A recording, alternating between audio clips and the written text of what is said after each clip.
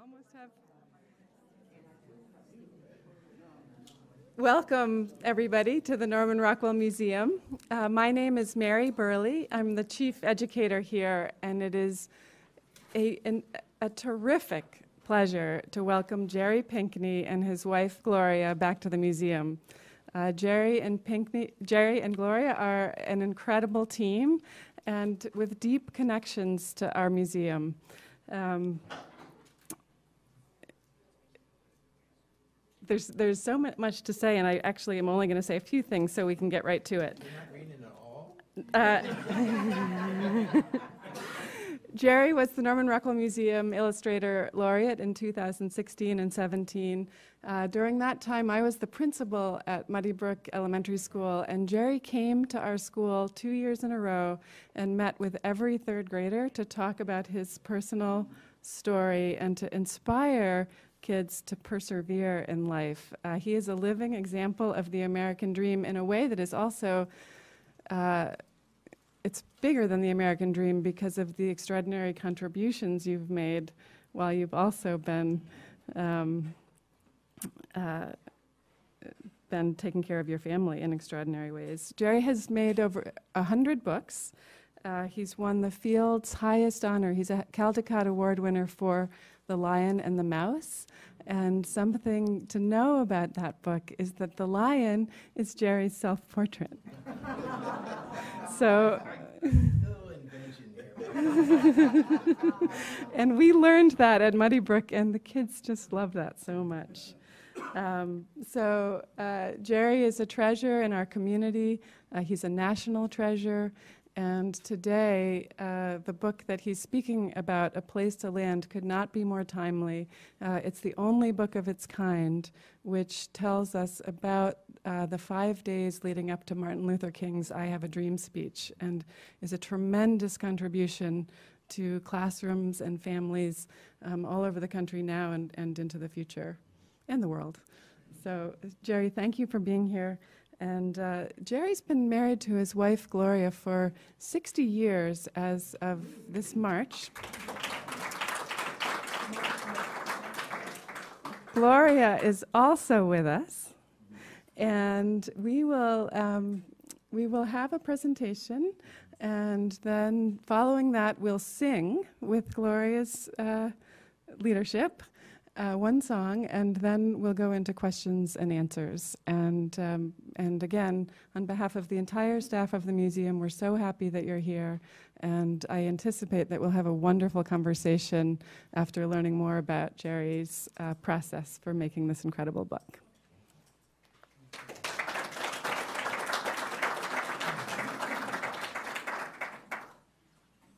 Well, how are you? Um, it's good to be back, and um, this time, and I've, I've, you know, some of the you might remember, I've been here a number of times in this room. I think the first time I was during a presentation on a book of children's uh, book illustration. It was a group show, and I was invited to speak here. Um, and so I've been back a number of times, but this is the first time they brought me in through the, the back entrance, and that made me feel like I was now part of the Rockwell. Um, so I passed all these signs that said staff only, and I said, whoa, this feels good. This is, feels good. So um, I can't tell you how excited I am about um, this new project. Uh, was published uh, in, and uh, released in August. Um, but I want to tell a little story there, and is that um, uh, I grew up um, in Philadelphia, and then from Philadelphia to 60 to, in the 60s to Boston, and so the civil rights movement was certainly in full uh, swing at that time. Um, and I I joined a Boston Action Group, which was um, sort of um, an activist group, um, and we were um, in the forefront in Boston at the time of um, um, housing and um, and circle and certainly equal employment. And most importantly, I think, was voter registration. Uh, that was really when you were dealing uh, with folks in the community and how important that was. Uh, so that the civil rights movement was always a part of who I became during that time. Um, and I had opportunities to actually illustrate projects that where the subject matter was the civil rights movement. And um, but I tended to shy away and not look for those projects. I felt strongly that uh, one, it was so well documented in terms of photography, and um, and the energy. I didn't think that I could capture the energy of the '60s, um, not only the marchers and and um, um, but also the music that was generated. So I kind of pushed back on projects that um, um, that celebrated and spoke to that time period. Um, I also pushed back on portraits of the people that were instrumental, the spearheads. And certainly um, one was uh, Dr. Martin Luther King. Um, I wish I can remember the date, but I was approached by the U.S. Postal Service to do the Black Heritage Series. And one of the stamps, those commemorative stamps, was on Dr. Martin Luther King. And I did a portrait. I did a portrait. Am I happy with that portrait? Um, not so. Um, I think a lot of it still was in my head, this sense of his, uh, he's an iconic person. Um, and I never felt that I could do justice to the poetry and the importance of what he was trying to say and what he was trying to do. So I'm going to jump ahead to being approached uh, by Neal Porter of Holiday House. Um, I had completed another project with Neil uh, in plain sight at another publishing house. He moved to Holiday House. And uh, in conversation, he mentioned um, he had that manuscript and um, did I know anyone that could do portraits well? And and I'm I don't know what that bridge was that asked, well, could I could I see the text? Could I see the manuscript? And um, but it that happened, and I immediately uh, felt drawn to it and, and, and pulled into it because there was that aspect of a place to land where Mahalia Jackson, during when he's delivering the speech, I hope I'm not jumping ahead too far, um, suggests that they add, that he add that statement, and I have a dream. That was something I was new to me, and so that was the that was the the door, the window that allowed me into the text. So I didn't and I didn't realize that a lot of people knew it, by the way, uh, that some people did. But that was the bridge. Um, then I had to figure out now um, how do I now um, take the energy and my experience of, of, of being that little part I played in the civil rights movement, but mostly the, um, the folks who came back from the marches and um, demonstrations in the South who would return to Boston and we would have meetings, the Boston Action Group, and I, we would listen to what they had to say. So what I thought I'd do this afternoon is briefly introduce a little bit about myself, where I came from, because I grew up, I was born in 1939, in Philadelphia, which was um, de facto segregated. I went to an all-black elementary school.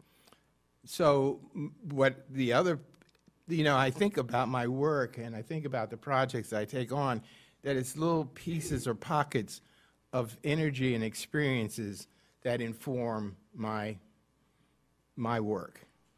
Um, so I'll, I'll speak about that through a slide presentation as well. Um, So we'll start, oh, there's one thing, I, because I, I touched upon that being introduced to the text by Barry Wittenstein. And by the way, um, there would be no, uh, a place to land without the, that stepping stone and, and the kind of, um, the way and the manner in which Barry Wittenstein wrote the text. Um, somebody mentioned uh, that uh, in one of the reviews had the cadence of, of a preacher, and, and I think that also reflects. So there was a lot of pulls there. Um, I studied design, um, came to narrative art a little later. Um, so, and I've been doing this since 1960 through the studies and, and the continued studying of, of how to make pictures, there are a couple elements that we, those of us who in the group that make art, realize it's about color, about form, about line, it's about composition, it's about all those things. So, so 60 years I've sort of focused on how to perfect my artistic practice by growing and improving on those ways of make pic making pictures. I knew with the place of the land, that had to be pushed to the back burner. In other words, if I was going to do justice to the importance and the energy of that time, I couldn't think as much about making desirable pictures it had to be that the lead had to be the subject. Um, now, there's no question that I knew it was going to come up. I mean, it had to be, it was part of my DNA. But it wasn't, that's what it, it wasn't about that. It was to honor Dr. King, it was to honor the text. Um, and however that would come out, would shake out. Um, so you'll find that and you'll see the drawings um, are a little looser, um, the more immediate, more urgency. Um, I looked back and my process is step by step by step by step. There are no step by step by steps in a place to land. There were thumbnails, working drawings, and then I had to experience um, what I was trying to say as I was making it. In other words, I believed during that time that the belief in what Dr. Martin Luther King, his message, and the people who surrounded him and the marchers, the art had to live up to what they had hoped for. So anyway, I want to talk a little bit and start with um, a little bit of background because I thought that, as I mentioned, um, okay, I grew up in Philadelphia. I was born in 1939. That's 51 East Earlham Street. Uh, there was, um, that, by the way, the house is not much larger than what you see on the screen. Uh, there were six rooms. There were eight of us, mom and dad, and uh, eight children. Um, it's six children. Thank you. Gloria, Gloria not only sings, but she also if you see me looking over at times, I'm just checking in. Um, well, it's actually, it seemed like eight. Yeah. But, uh, and I was the middle child, but um, there was, um, it was six rooms and uh, uh, one bath without a sink. It was kind of crazy. And, um, but my, that was my first studio happened in that house. It was a corner in the bedroom that I shared with my older brothers.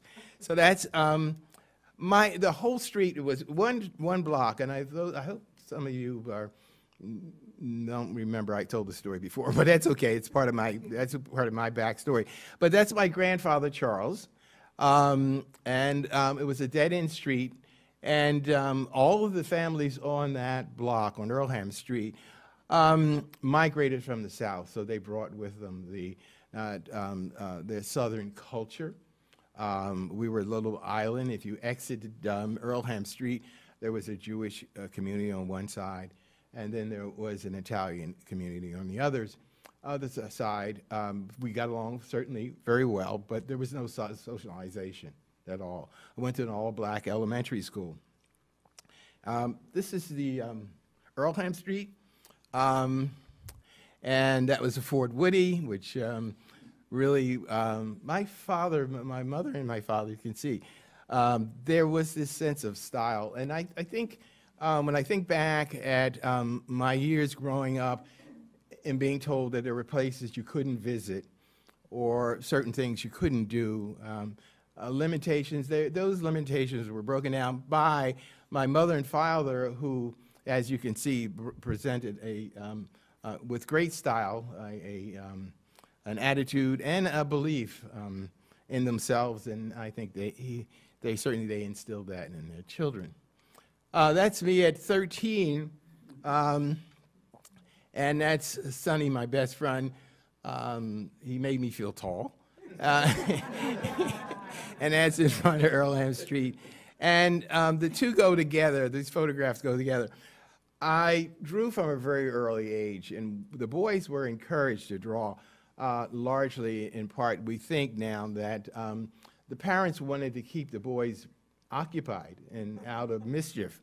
So they promoted this idea of drawing. Now, I have to say, there were no artists in my family, no artists in my neighborhood, no visits to museums, no visits to the galleries, but, um, but there was this attention to trying to keep us occupied in a very positive way. Um, now, I also talk a lot now about mentors, and this is what my first mentor, because he was my boss. I started um, selling newspapers at a very busy, busy intersection in Germantown section, and Matt was my boss. And um, I would take a drawing pad and pencils with me to work.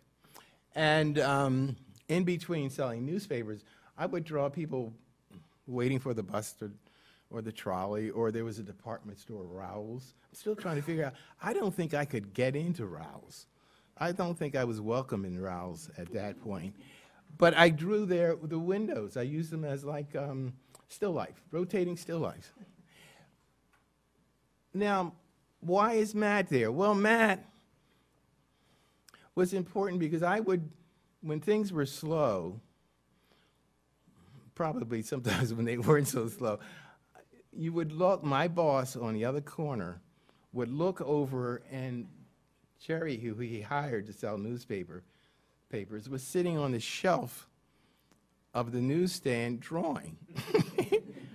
Matt never said a word. He understood and encouraged me in that way without saying a word. Uh, this is where also I met my, uh, my, the first professional artist, John Liney, who was the cartoonist of Henry at the time. And um, John invited me up to the studio. He would buy a paper from me and took note of me drawing, invited me up to the studio. So that was my first experience as a, um, uh, with a professional artist and in, in that kind of space. And um, I, I say it laughingly that after I left, I did cartwheels because of this exposure. I doubt that it happened that way, but it had to be that that seed of possibility was planted that day, that I could see that by making pictures, you could actually make a living. You could provide for a family, and that's what John Liney did with his cartoons. The other piece of it is that, you know, actually the newspapers I sold, uh, you would have his syndicated cartoons running in that paper. Uh, So I don't know whether those, all those things make, uh, uh, you know, the fact that I'm in uh, uh, a, um, an art form that is to be reproduced. And my first exposure to professional artists was someone who did that. So, okay, I'm spending too long on um, John Liney, but um, uh, another mentor and a hero of mine, of course, was uh, John Henry. Uh, this is the legend of John Henry and, and um, brings me into um, those first early stories. Um, certainly, they were mostly told. Uh, they were not in print form, and certainly John, Le- um, John Henry was one of those stories. And as a kid growing up, I needed a black hero, and um, so John Henry became that hero uh, for me. And um, I guess as 89, I had the opportunity uh, with working with uh, Julius Lester uh, to uh, actually um, adapt that, that folk tale. So that's the, the um, cover of John Henry. I spoke about earlier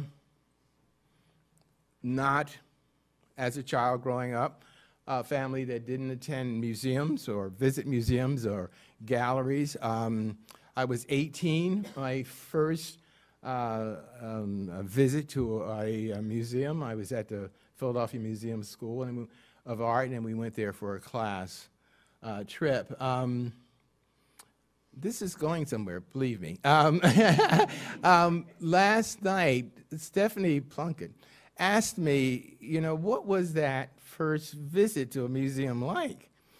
And I realized I hadn't thought about it. And then, so, so I, I paused a moment, and then I said to her, I felt incredibly comfortable um, in this new space.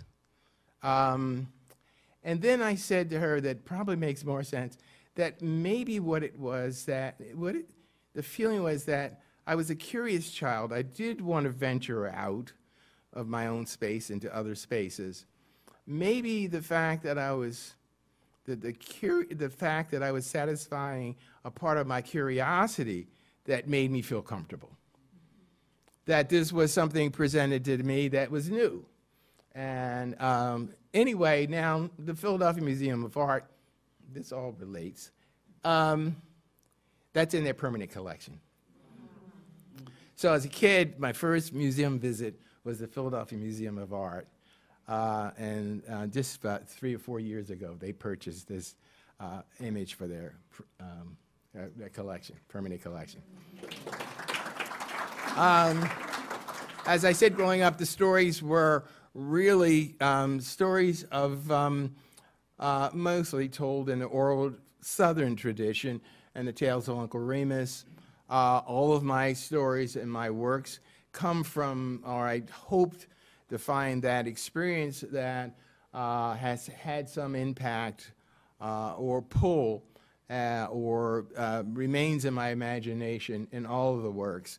Um, this was God Bless the Child, and this is really young Jerry as a wanderer and um, uh, an interest seeker.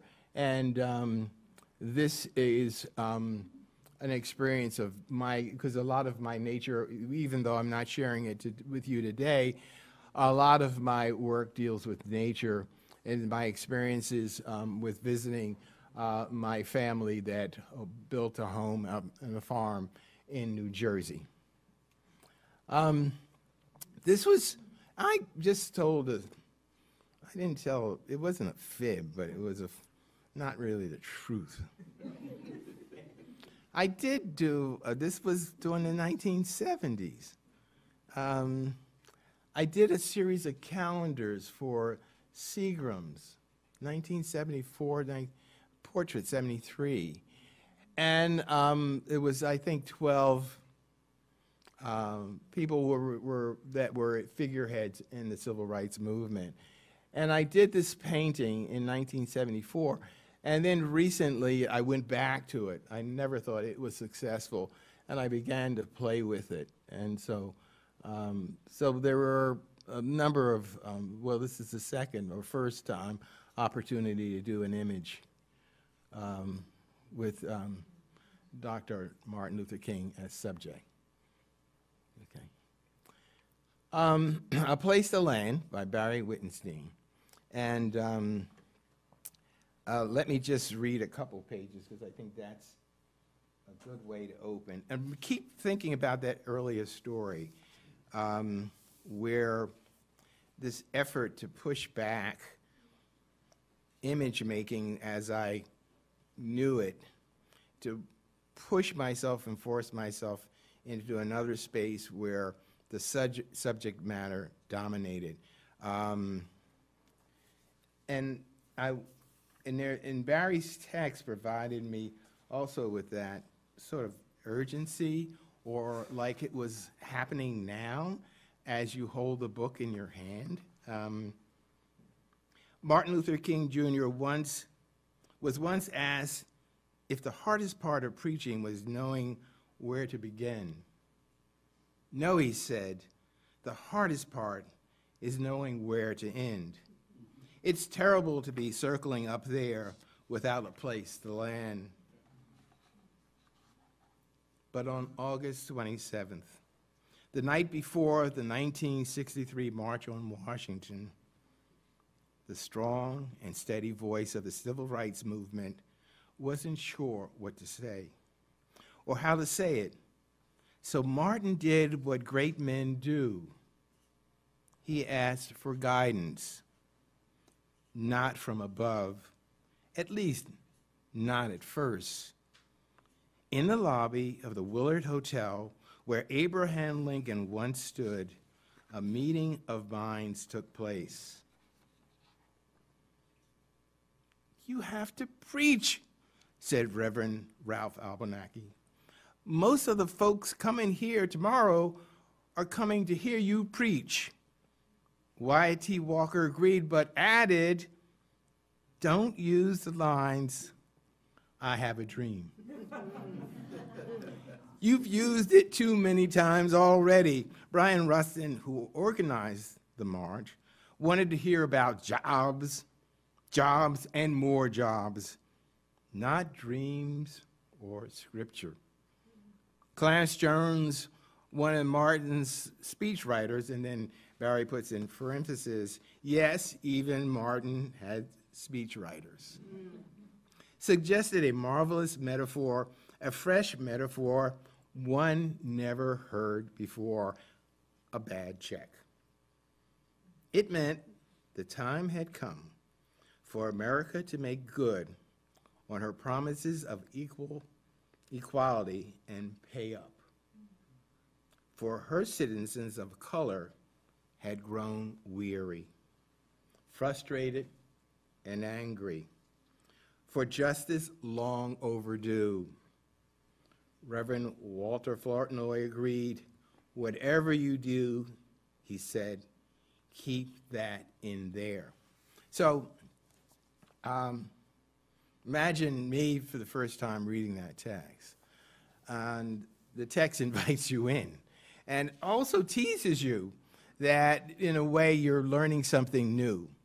Um, so, in terms of, is that going to stay there? Uh, the visuals. um, um, now, I just said to you that there was very little sketching. The cover um, really needed, it was necessary to figure that out. Um, so this is a um, pencil a sketch uh, for the cover and back cover. Now, what you'll notice when we get into the, oh, this is the cover. This is the cover. And um, I'm going to comment on some of the, you know, the process and some of the thinking. Um, in this case, uh, you know, I wanted the, uh, I mean, this, the fact that he was a preacher, uh, termed, um, you know, civil rights spearhead, I wanted to suggest the, his, his beginnings, his roots, and, and, and as a preacher. And um, so I, um, I wanted to include a stained glass window from, you know, Ebenezer Baptist Church. And um, so what I did was I couldn't find it. I couldn't find, um, and then I watched films. I did a lot of watching films, and and I, I did a screenshot of a window um, in the church. And so part of that is actually a collage, and part of it is actually art.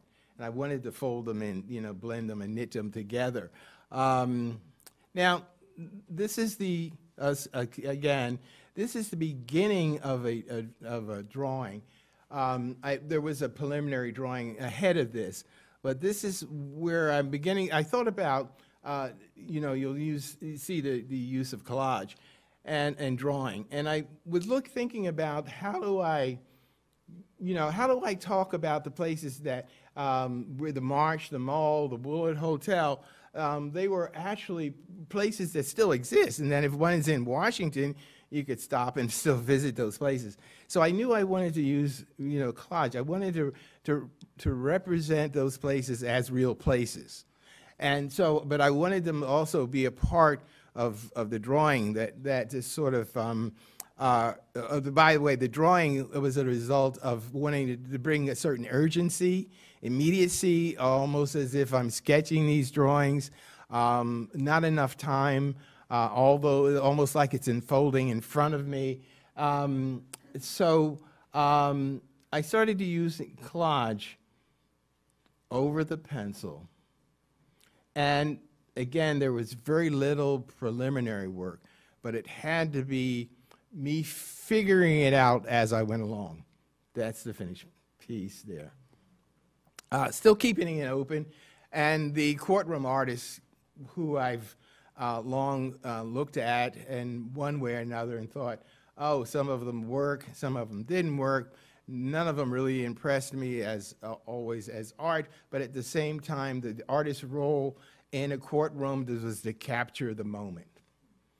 And my role in A Place to the Land was to capture the moment. And there again, pushing aside or in the back burner uh, those uh, practices, artistic practices, that has gotten me the success that I've had. Now, what's interesting about this is that I said I'm not making art. One of the biggest comments that I get in the reviews is about the art, which is brings on me a whole nother. we can have that discussion. What is art? Um, I mean, it wasn't picture making the way I was aiming for to make art in this case. Um, yet it, it, it perhaps was the subject and the intensity and the energy that I had in to invest that makes it art. Um, this is the opening um, title page where I wanted to um, introduce people to um, the places. And so um, it happens in, the, in, in um, the Willard Hotel, and then it happens on the um, National Mall. Uh, this is a, a, work in progress. Um, and there you see me um, um, starting to add, and I just float those images from, this was from the, from a film, uh, a screenshot. And I never know where the place is going to finally land. It's a matter of, of, of committing to this feels right, and then you glue it down. Um, the other piece is I've done this before where I've actually cut with scissors or, or X-Acto blade. Why I decided just to tear these images, these photographs, I still don't know. But it, it, it never came to, at all to mind that I could cut images. Um, my thinking maybe is that I wanted to have a softer, more integrated kind of look, but anyway, that's a finished drawing. And then I started matching, like if there's a podium at, um, you don't call a podium in a church, Glory, what's a a lectern. Okay, a lectern. No? Lectern is on one side. I'm a preacher. Oh, well, this is perfect. Tell me about the, the pulpit. All right. In this case, matching the microphones on the pulpit. Thank you. Um, I got two kind of people in here in front of me guiding me through this. How can I go wrong? Is that and prayer and prayer. um, so that's, that's, you see that, but again, the courtroom is this sense of, uh, of feeling I'm, I'm trying to capture a moment, and that's the big thing. Um, and then you can see where the design practice comes into play with matching, um, of being the, the search for uh, uh, other elements to support um, what I was doing. That's my floorboard uh, in my studio, as a matter of fact, um, that suggests wood texture and things like that. And um, one of the things that um, was challenging, and it seemed just so exciting in the very beginning to take on this project, until I realized how many portraits I had to do. And then that was another story. Um, I did know that if I was going to add something to this big story, um, it had to be that what you couldn't find in a photograph and that was the interacting um, with one another. Uh, and that process was extensive. It went like starting out with a rough sketch of the composition, where I knew exactly where I wanted the folks to be.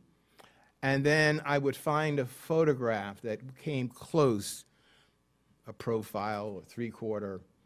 And then I had to articulate the photograph, what I wanted to say, how they interacted.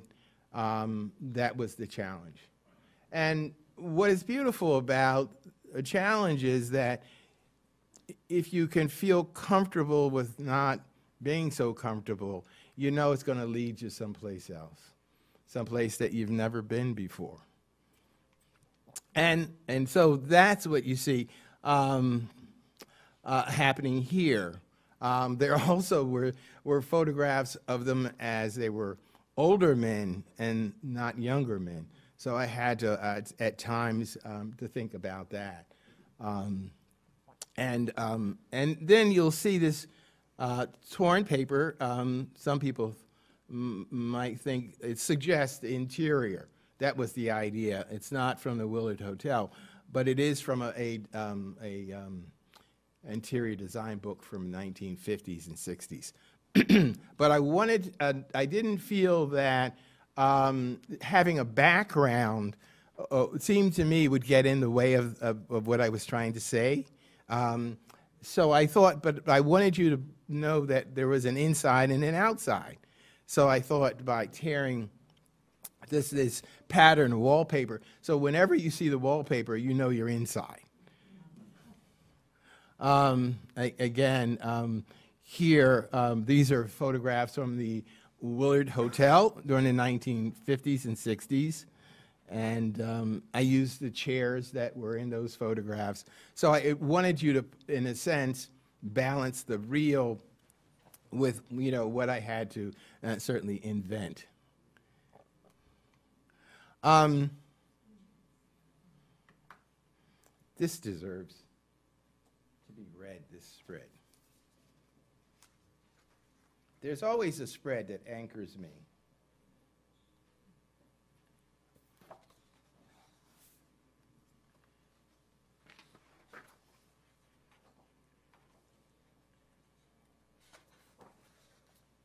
Upstairs, upstairs alone in his suite, surrounded by rough drafts and scribbled notes on yellow legal pads, Martin saw Rosa, Fannie Lou, Emmett Medgar, and the children of Birmingham, and so many others. Their faces forever seared into his memory. Heroes all, chased by snarling police dogs, knocked off their feet by high pressured water jets, arrested, beaten, shot, and hung, shocked and poked by cattle prods. Their homes, schools, and churches burned and bombed. Um, Martin was carrying, Dr. King was carrying all of that on his shoulders. Um, what did start to happen to me as the creator of this image is I was beginning to somewhat get in touch with the weight he was carrying. Um, this kind of talks about it, this image. And then I thought about the martyrs during that time, so that one to third row, you'll see martyrs, people that were killed during that time, and their eyes were closed. So it was um, kind of a way of visually speaking to the loss of life during that time.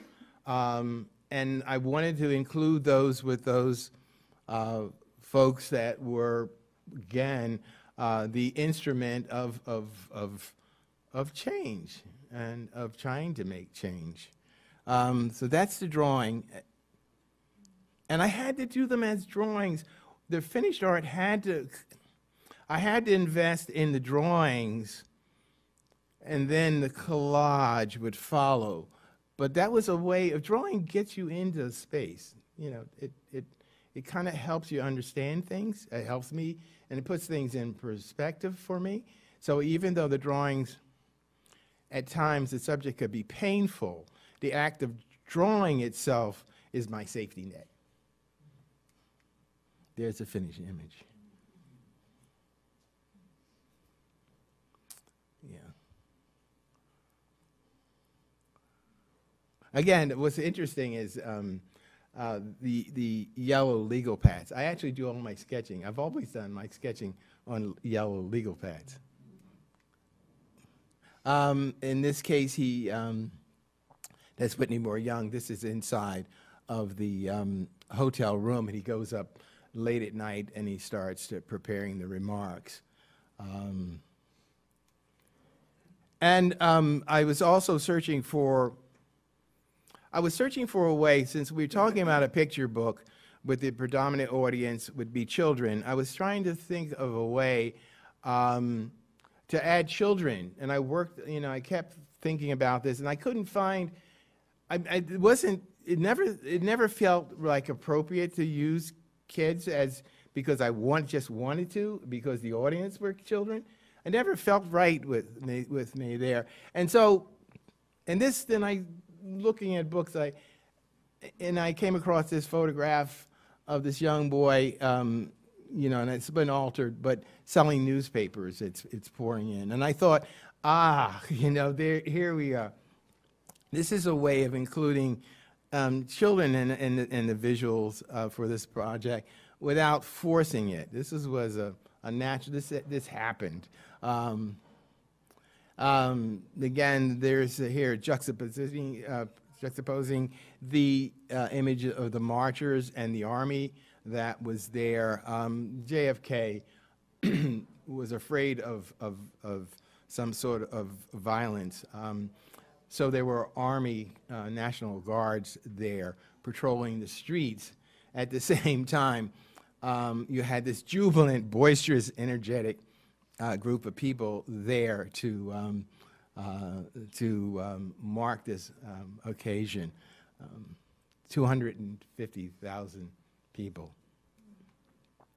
Um, the other piece was I, as I, you know, I started this project, but the sense of really, um, this was a project for me. it took a year to do this project. And part of it was trying to put in perspective uh, not only what the text was suggesting, but my own, my own experience and the experience we live in today. So midway through this project, I began to ask myself the question is, could these remarks be given today? And I, of course, I landed on the side of yes. And that kind of threw me in a way that I didn't expect going in. That, um, and that's when I began to start thinking that we could push this further, as you'll see in, in the ending. Um, and then through the process of research, of looking at films, um, I would let certain aspects flow out into the book. And one, and there were a couple pictures, and I'll talk about them. But the one was um, after he was um, he was shot that first time. There's a photograph of him um, in in the front of a march uh, group of demonstrators, and he ducks because there's a backfiring. Vulnerability, I thought. Vulnerability. That this iconic preacher, orator, was also vulnerable. And so the image on your left speaks about that. It tries to portray, portray the weight. Um, and then, course, on the other side, excuse me, I need some water. Um, got it. Um, on the other side, he doesn't know that the mall is beginning to fill.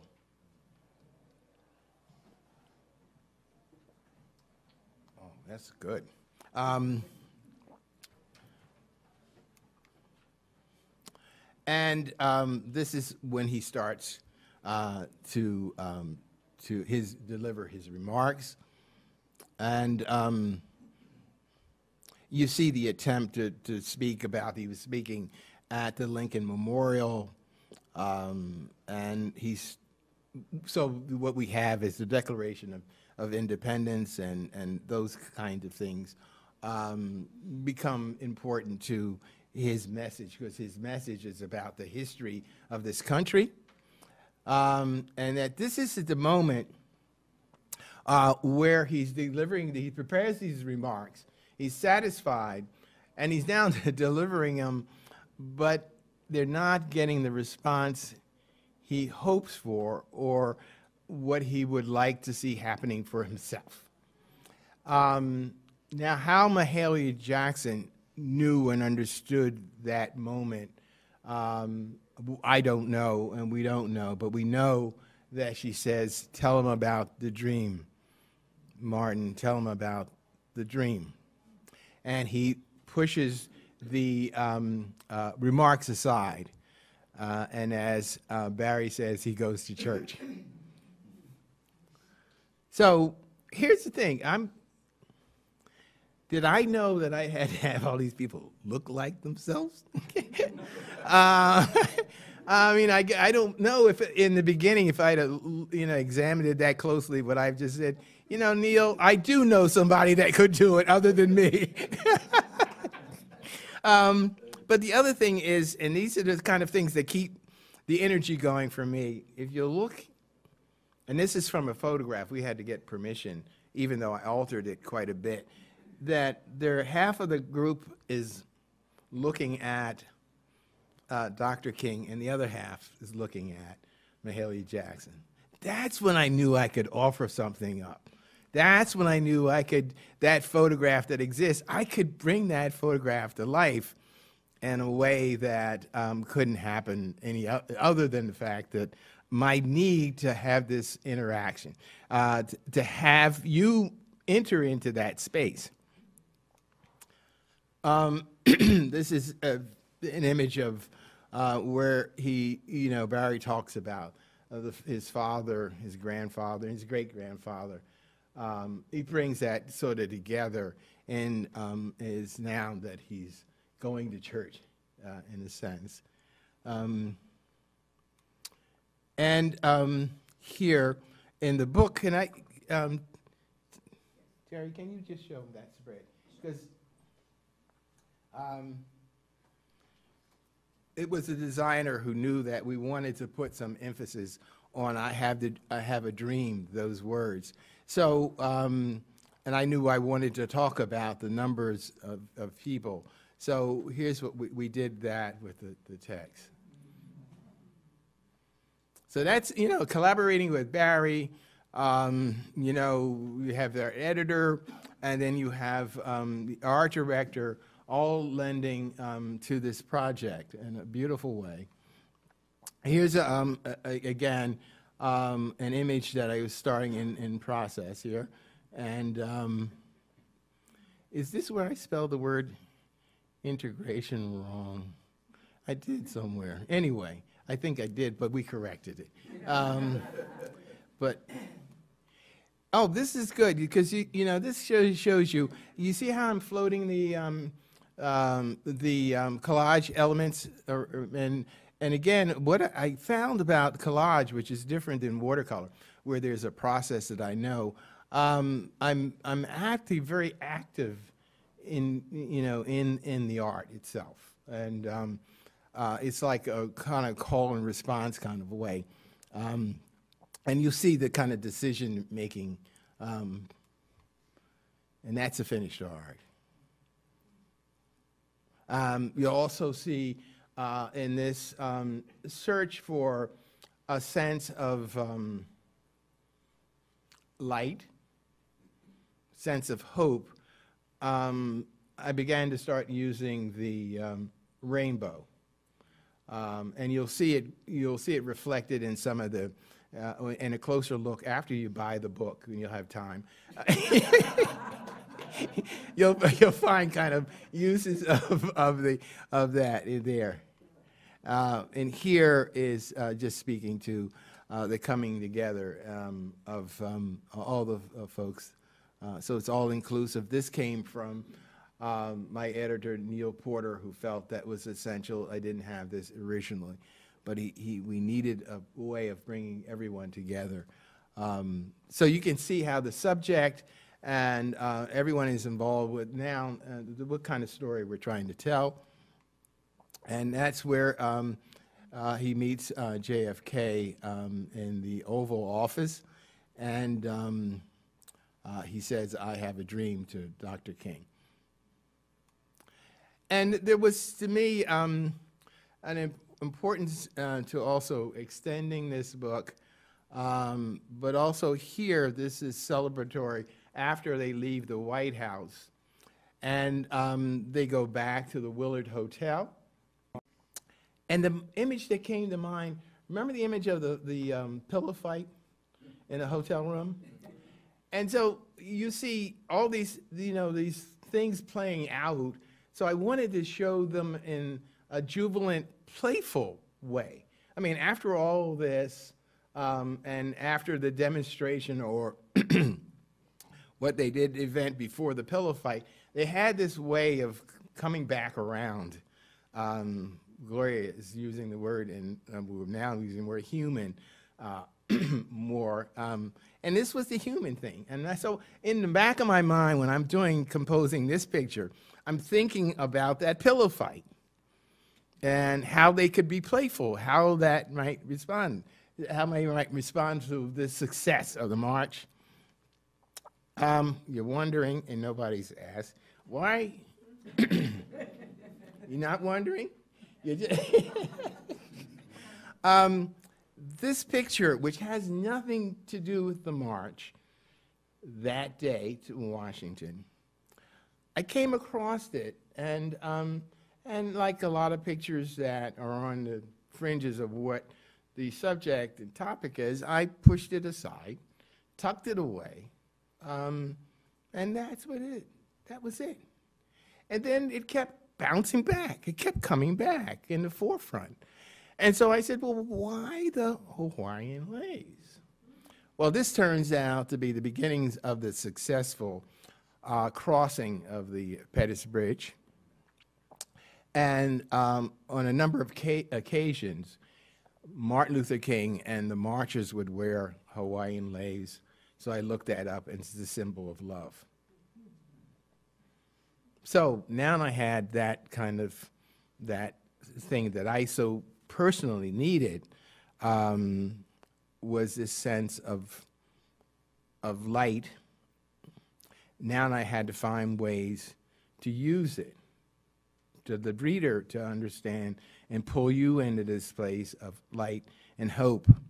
Um, so we developed this. This is the sketch. Uh, two sketches, and then the finished art. Um, and the idea here was that there was progress made because there was setbacks after the march, and then there was Bloody Sunday, the Pettus Bridge. But I was trying to find a way to talk about um, this also need for us to stay in the fight. So we project beyond the march itself. And, um, and then, as a closing, I knew that no matter what our thinking, what my thinking was at the time of the success of the remarks and what he had hoped for, there's no denying that you can't get away that we elected first black president. So it sort of brings it home. That's the, the arc of hope, the arc of possibility, um, the arc of, of energy for us to stay in the fight. So, and then there's um, Shirley Chisholm and uh, John Lewis. Um, but I wanted to show that arc of the continuance of the fight and the effort. And um, that's the back cover. Um, and we did BEA, BEA in Washington, and we went and we had this really wonderful breakfast at the Willard Hotel. I mean, full circle in, in so many beautiful ways. Um, and this last lot, this is the lei, and I didn't realize, I took this shot, they were, this is the way the tables were set up before the food was served. And I took this photograph, and yet it's, and uh, looking back now, and, and such a powerful, powerful ending uh, to this. And I think that's it. So, Gloria Jean, uh, we're going to just.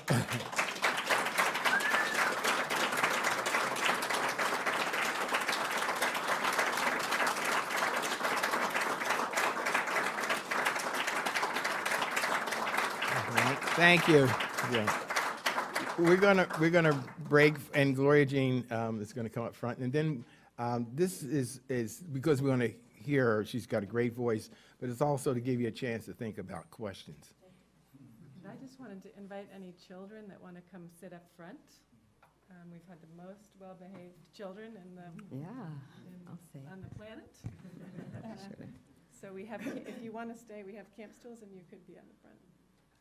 So. so- Just get this.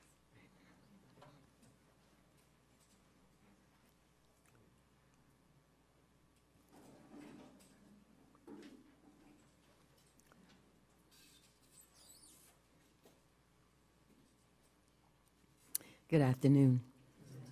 Right. When Israel was in Egypt land, let my people go.